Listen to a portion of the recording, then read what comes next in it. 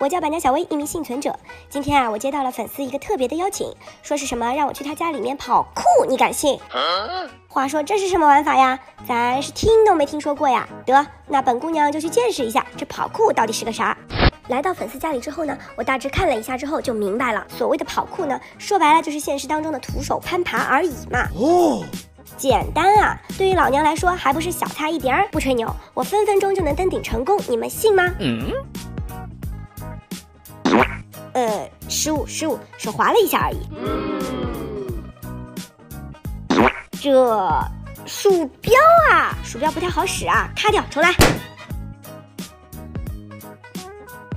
看，这不就很轻松就上来了吗？下一步肯定是跳这个栅栏上。果然，我说的没错吧？那接下来应该就是这堵半身墙啦。呃，虽说有点瑕疵掉了下来，但无伤大雅。不过这里的话不能着急，容我仔细观察一番。看来就是要往这个上面跳了，准没错。走你！啊啊啊！走你妹呀走！看来这个设计师有点东西啊。不过我的判断应该不会错呀，肯定是从那里跳上去。Two thousand years later. 呃，算了，我还是看一下别人是怎么跳的吧。哦，我懂了，懂了，原来要在这里垫个弹药箱，然后跳到对面露出来的洗漱台上，完美，轻松过关，so easy。接下来应该就是慢慢走上去了，然后坐到这个椅子上就好啦。这次绝对不会错了。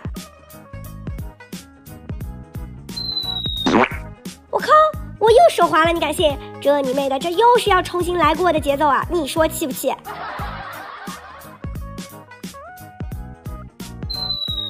阿，西巴又他喵的失败了，我感觉我要崩溃了。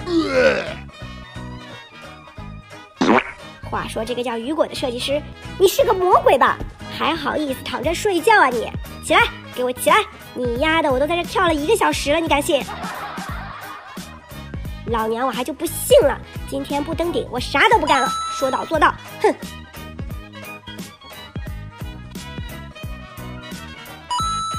总算是坐到椅子上了，后面应该就简单多了吧？继续。我尼玛又要重新开始了，这也太过分了吧！话说雨果，你个变态，快点出来，有本事你上去给我看看！我还就不信了，这根本就没人上得去好吗？嗯。呃，抱歉打扰了，果然是解铃还须系铃人啊。于是呢，在设计师的带领下，我们是轻车熟路，一路火花带闪电啊，总算是看到希望要到达顶峰了。可偏偏这个时候，Hello，it's me。